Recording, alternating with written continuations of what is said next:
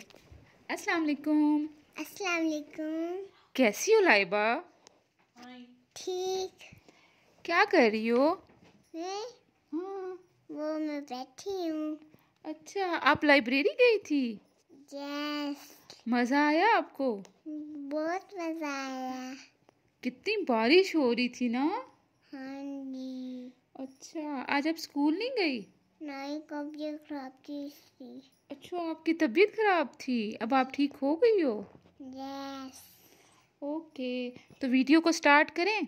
Yes चलो let's start hello guys तो सब लोगों को बताती चलूँ कि मैं हम लोग गए थे लाइब्रेरी तो मैंने सोचा कि वाई नॉट ये मैं आप लोगों के साथ शेयर करूँ अपना विज़िट तो बेसिकली ये जो लाइब्रेरी है, इसके जो रोड्स हैं, बिल्कुल ही सुनसान से इलाके में है, एक गाँव में बनी हुई है। साउथ पंजाब में बेसिकली ये है और ये if I am not wrong South Asia की सबसे बड़ी पर्सनल लाइब्रेरी है। तो इसका ये रोड देख लें रोड नहीं, अच्छे इसके, लेकिन रास्ता, अगर आप आए मैं फ़र्स्ट टाइम गई थी तो मुझे लगा कि एम ही कोई होगी, कोई छोटी सी होगी, जितना हम लोग सुनते थे। लेकिन ये मैं एंटर हो रही हूँ, मैं आपको दिखाती हूँ, ये थी कितनी, स्टार्ट ही इतना अच्छा हुआ। एक तो आप देख रहे हैं कितने नीट एंड क्लीन क्लाउड्स थे, स्काई था तो ये एंटर हो रही हूँ मैं। आप देखते जाइए छोटा सा एक लेक टाइप बनी हुई है। और आप ग्रीनरी चेक करें। हर एक अपना इंटरेस्ट होता है किसी भी चीज़ को बनाने का, किसी भी चीज़ को स्टार्ट लेने का। तो ये देखें, मैं अंदर एंटर हो गई हूँ, ये स्टार्ट से ही आप देखें बुक्स की कलेक्शन और ये कुछ कैलीग्राफीज लगी हुई हैं। और ये स्टार्ट में इन लोगों ने शू रैक भी रखा हुआ है और बाहर ही शूज़ उतार के अंदर एंटर होना होता है। एक बड़ा पीसफुल सा माहौल था, बड़ा अच्छा लग रहा था। I was new it was a new experience for me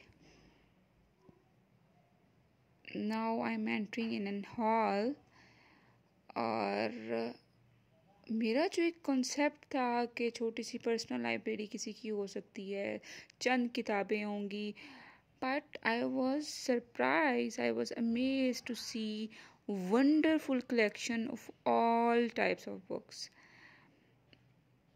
अदब की भी थी, इस्लामिक लिटरेचर भी था फ़िक्का की भी थी, हदीस की भी थी। आपको उर्दू नावल्स की भी मिल जाती हैं। इंग्लिश पोइट्री भी थी इंग्लिश नावल्स भी थे। डिफरेंट कल्चर्स की बुक्स भी थी। तो एक ह्यूज वैरायटी थी। तो मुझे तो बहुत अच्छा लगा। और एक और ख़ूबसूरती यहाँ की जो थी, वो ये थी कि आप ना सिर्फ़ इतनी ह्यूज कलेक्शन को देख सकते हैं but you can also read any book but you people have to read all this books if you want to read within the premises of the library I even you can say within the boundary of the building not even in the lawn तो एक जिसकी है, मसूद अहमद झंडीर की ये है, जनूबी पंजाब में। तो उसने, उसका शौक है कि उसने कलेक्ट की हुई इतनी अच्छी कलेक्शन है उसके पास। जो देखें, सहाबा कराम के ऊपर उसने एक सेक्शन बनाया हुआ है। सीरत नबी के ऊपर एक सेक्शन बनाया हुआ है। और आपको तरह तरह की इस्लामिक लिटरेचर इस्लामिक हिस्ट्री से रिलेटेड बुक्स आपको मिलेंगी। रैक्स भरे हुए थे, बुक्स नीचे भी पड़ी हुई थी तो ये हॉल नंबर वन था। और ये देखें। देन ये जो बाहर हॉल है इसमें और ये देखें, हिजर नसब कौम खोकर राजपूत हर आदम से रिलेटेड। तो it was new for me कि हर आदम राजपूत थे और उनका शजर नसब लिखा हुआ था। और ये कुछ बुक्स थी। इवन मिर्ज़ा साहिबान ससी पुन्नू लैला मजनू से रिलेटेड भी कई नॉट के एक या दो books but number of books आपको इसके ऊपर मिल जाती हैं। ये देखें एक और हॉल है। मतलब भरी हुई हैं books approximately there are thirty two forty lakhs of books are there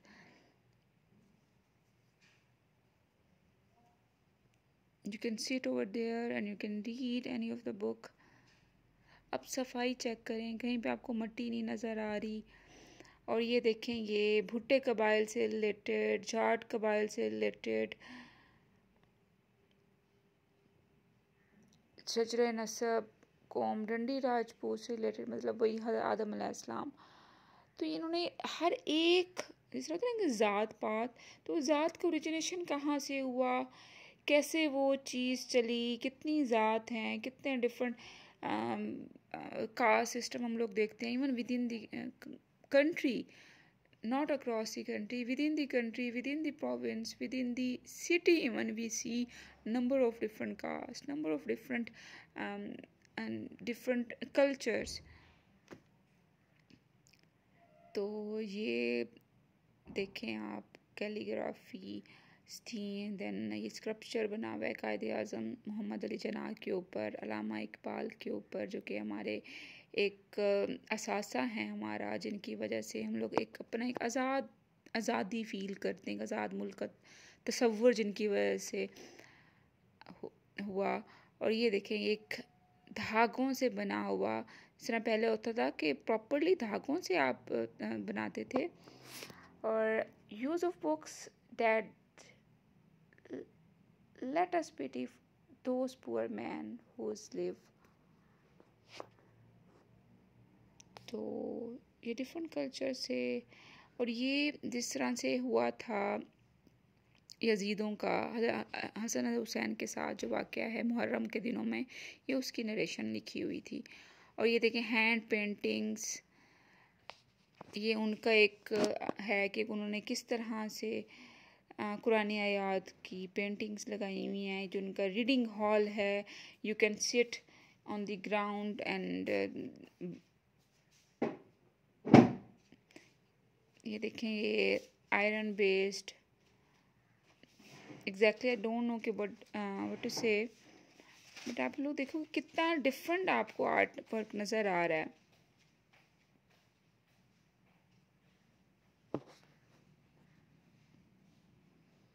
Holy Quran is my name.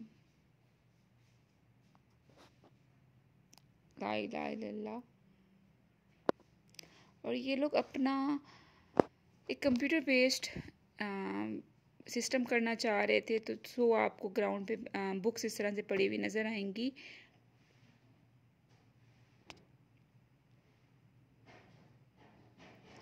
मैं खो गई थी इन बुक्स में, इन सारे एरिया में। मुझे बहुत अच्छा लगा। समटाइम्स आपको ये चीज़ें भी सुकून देती हैं। कुछ हट के अगर आप जब भी करते हो तो। ये देखिए, कुछ गिफ्ट्स हैं तो उन्होंने उन्होंने इस तरह से मसूद जंडीर सरदारपुर जंडीर रिसर्च लाइब्रेरी मेलसी इसका बेसिकली नाम है। और ये देखो आप लोग के कुरान पाक हंड्रेड के जी का कुरान पाक है और दस पारे इस तरह से हैं। और जहाँ पे भी अल्लाह वर्ड आया फ़र्स्ट टेन पारा में तो उसको रेड कलर में इन लोगों ने लिखा हुआ है। हंड्रेड किलोग्राम मतलब ढाई मन का ये कुरान पाक है, माशाल्लाह से। तो उसको भी उन लोगों ने, इस आर्ट को भी उन्होंने सेव किया हुआ है। ये देखें, एक और आर्ट वर्क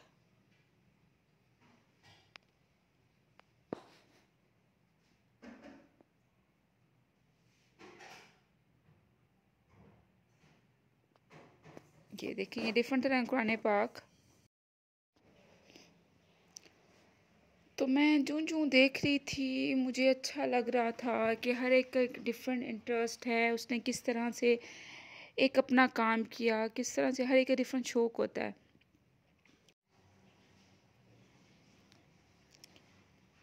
तो इसी तरह के कुरान पाक की उन्होंने डिफरेंट टाइप्स अब इस पर इन लोगों ने ये एक आर्ट रखा हुआ है सूर्य फातह को सेवन डिफरेंट लैंग्वेजेस में लिखा हुआ है तो उसका एक पूरा एक उसका सैंपल कह लो, एक ओरिजिनल उसकी बुक कह लो, वो इन लोगों ने अपने पास रखी हुई है सेव की हुई है।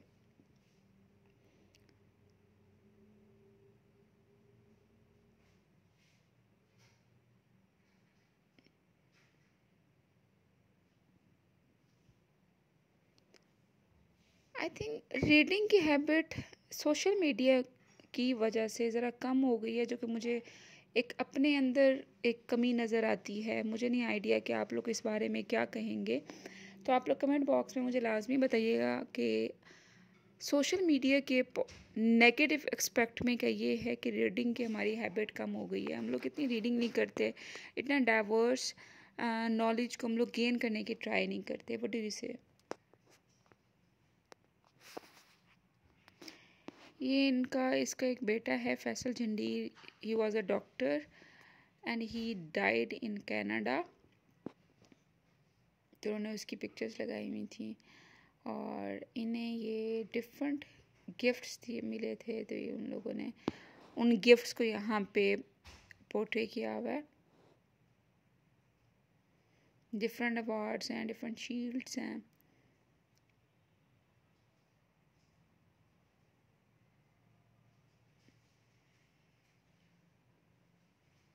ये देखें।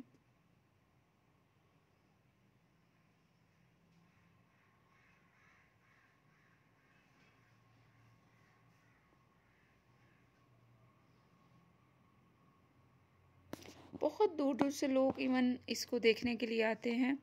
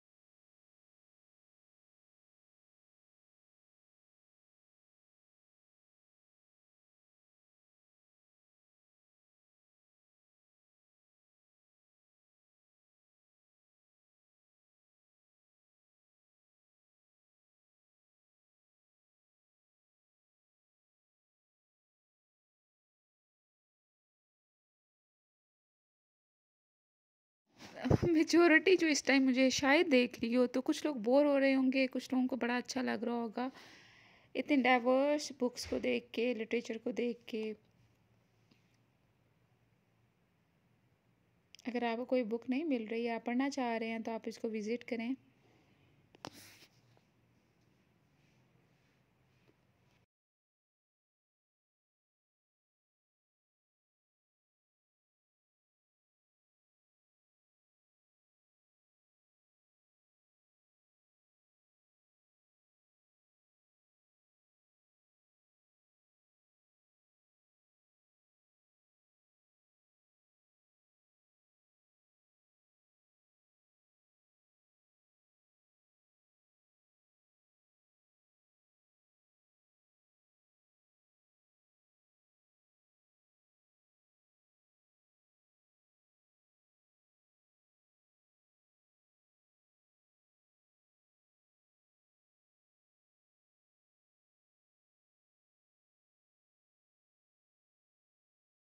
More help for your nerves.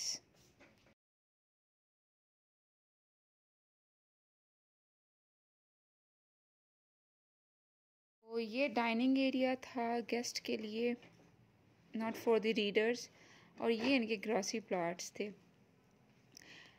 इस बंदे का ये शौक देखें कि आई केम टू नो कि जितने भी कुरान पाक में, जिस भी दरख्त का, जिन भी प्लांट्स का ज़िक्र है उसने ट्राई किया कि वो उसको अपनी इस बाउंड्री में लगाए। तो गुज़रते हुए मुझे कोई सिमिलैरिटी नहीं नज़र आई। मुझे बड़े एक डिफरेंट जो कि आपको नॉर्मली नॉर्दर्न एरियाज़ में जो पौधे आपको नज़र आएँगे, यहाँ पे भी आपको नज़र आएँगे। स्काई देखें कितना आसमान क्लियर है।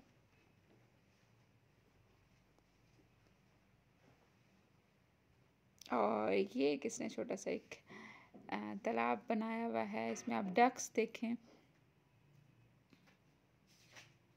सुकून था एक।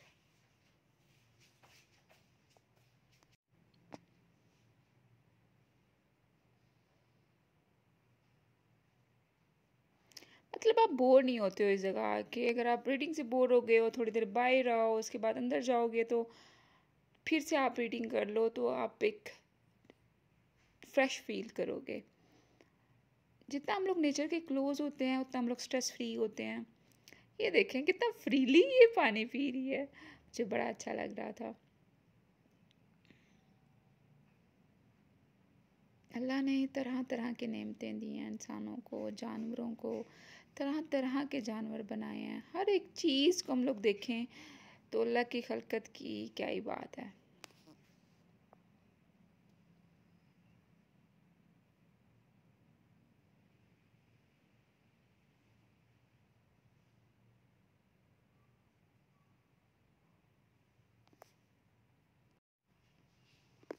तो शाम का टाइम हुआ जाता था तो वापसी का सफ़र शुरू होने वाला है तो आज का दिन बस यहीं तक था।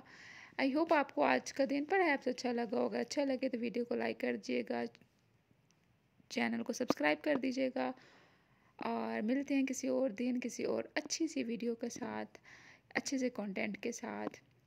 तो सूरज की किरणें पड़ रही हैं, बड़ा अच्छा लग रहा था, एक फ़्रेश फ्रेशनेस थी इन्वायरमेंट में, आप स्ट्रेस फ्री थे, आपको कोई टेंशन नहीं थी। तो क्या आप भी नेचर के पास आके इस तरह से खुद को फ्रेश फील करते हैं? छोटा सा फूल अपने लिए। चंबेली किस किस को पसंद है? पाथवे देखेंगे, उसने कितना अच्छा अरेंज किया हुआ है।